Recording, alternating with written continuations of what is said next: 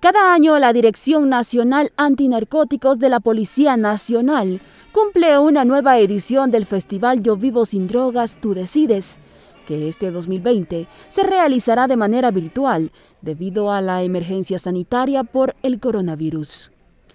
Para esta décima edición en el país, la actividad se desarrollará el domingo 21 de junio a partir de las 10 horas mediante las plataformas virtuales Facebook e Instagram de la entidad. Se tiene programado varias actividades recreativas y deportivas, así como demostraciones por parte de las diferentes unidades que tiene la institución policial. Cabe señalar que el objetivo de dicho festival, replicada en varios países del mundo, es concienciar a la población sobre el consumo de drogas, principalmente a la juventud, para que no caigan en el consumo de sustancias sujetas a fiscalización. Liliana Llanes, Unción Televisión.